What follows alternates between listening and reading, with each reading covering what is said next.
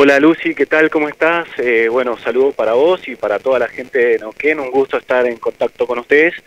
Y sí, como decías, hoy la provincia de San Juan ha dado un paso muy importante con esta vuelta a la presencialidad en, el ámbito escolar, eh, destacando algo que vos marcabas recién, es que la provincia no tiene circulación viral por el momento de coronavirus, algo que destacan los funcionarios provinciales, incluso los nacionales, porque eso ha permitido que se pueda generar este protocolo que se ha puesto en marcha a partir del día de hoy y que pueda por lo menos dar este pasito tan pequeño que es por lo menos algunos chicos, sobre todo de los últimos años del sistema escolar, esto ya sea del primario, también del secundario, de los institutos de capacitación, que por lo menos puedan tener la chance de volver a encontrarse con los docentes y también con sus compañeros, algo que es muy importante en el ámbito educativo. Absolutamente. Esta mañana esta mañana te cuento, fueron, eh, se esperaba que, que, a ver, el proceso para el día de hoy estaba habilitado para cerca de 10.500 chicos entre todos los ámbitos educativos.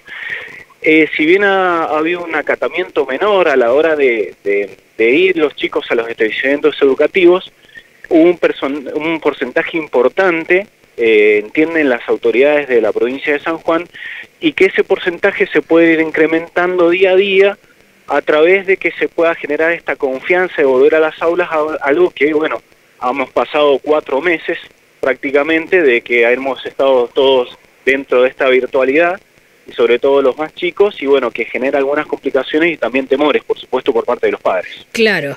Eh, Facundo, bueno, contanos cómo han transitado estos cuatro meses, porque la verdad que eh, los números de la provincia de San Juan son realmente bajos, casi nulos, te diría, porque ustedes han tenido 22 casos, vos pensás que Neuquén ya ha superado los 1.500, eh, que tenemos 29 fallecimientos en la provincia, ustedes no han tenido ninguno. Entonces, esto abre las puertas realmente para volver a una cierta normalidad. Y como bien vos decías, de a poquito, a medida que la gente vaya perdiendo el temor y tome confianza, eh, se van a ir sumando. Ahora, contanos cómo han transitado ustedes estos cuatro meses con tan poquitos casos, cómo ha sido la prevención que llevaron adelante en San Juan. Bueno, Lucy, te cuento. Eh, la provincia de San Juan tiene una particularidad desde el punto de vista geográfico y que y también un, algo que, que, la provincia está tratando de revertir es que es una provincia terminal.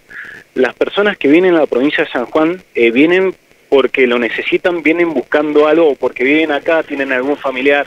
Eh, no es una provincia de paso y tampoco es una provincia tan, tan grande. Somos prácticamente 700.000 habitantes y hay algunos accesos puntuales, solo tres que son bien característicos y eso ha permitido desde que el día uno de la cuarentena el Ejecutivo Provincial a través de las autoridades de seguridad hayan marcado ciertos pasos estrictos para poder ingresar a la provincia. E incluso, eh, por ejemplo, aquella, aquella persona que venía a la provincia de San Juan inmediatamente era trasladada a un hotel y aislada en cuarentena por lo menos por, por 14 días. Claro. Eso ha ocurrido desde el día 1, se sigue manteniendo hasta el, hasta el día de hoy y eso ha permitido, primero, si existía algún caso que la mayoría de los detectados, vos hacías referencia, actualmente tenemos 22, de los 22 tenemos 18 recuperados, o sea que solo 4 quedan en, en situación de, enfermedad. Cursando la Pero esas personas, claro, cursando la enfermedad.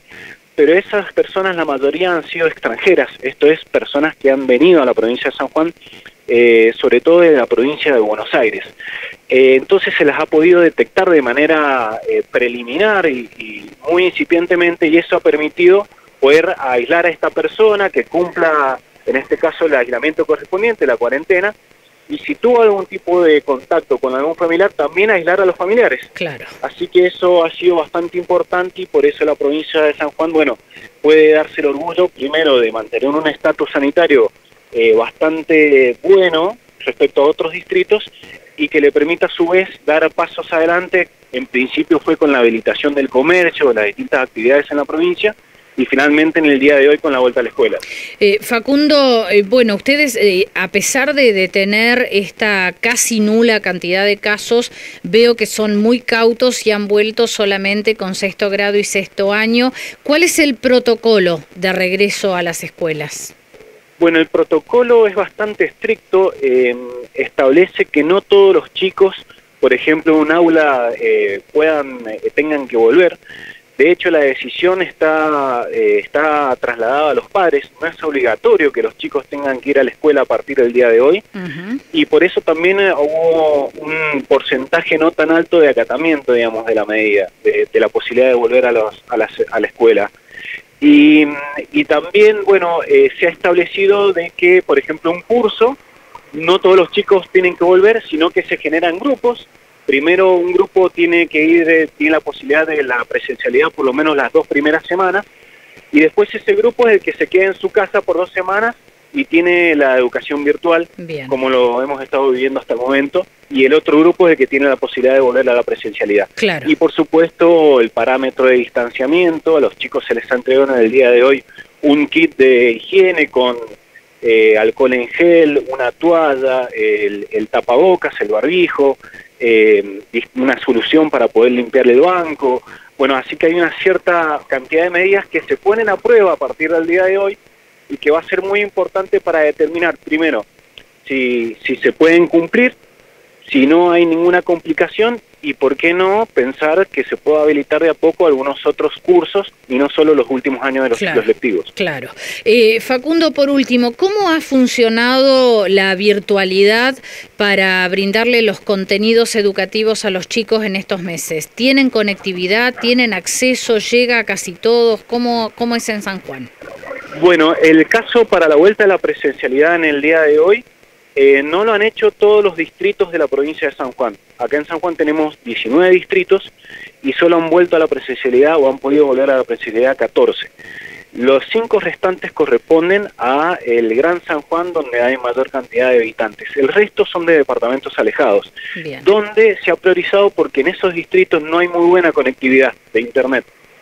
Entonces, para poder eh, favorecer que estos chicos eh, no queden tan atrasados y que puedan recuperar eh, los saberes dentro del ámbito educativo, es que se ha priorizado primero volver con ellos y después intentar seguir con el resto.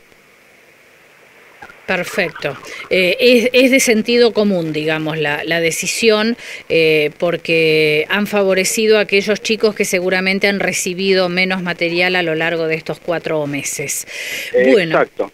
Eh, lo que es, Y lo que es importante, Lucy, es que los docentes van a tener un trabajo bastante particular durante estos, estos días, porque van a tener que determinar las diferencias de cada una de las de la educación que han recibido los chicos en su casa, porque cada uno de los, de los hogares ha tenido distintas posibilidades, ya sea para acceder a Internet o para que el padre esté atento y se pueda sentar con el hijo para hacer la, la tarea. Claro. Entonces el docente va a tener que tener un trabajo bastante particular, se ha contemplado eso, incluso, incluso ha habido una capacitación en las últimas dos semanas para aquellos docentes que volvían hoy a la presencialidad. Claro, porque digamos que van a tener una etapa de nivelación otra vez este, para ver eh, cómo llegan los chicos de nuevo a las aulas, más allá del tiempo que van a tener que destinar al tema de la resocialización, ¿no? Porque parecen cuatro meses, pero es un montón para los chicos de esa edad.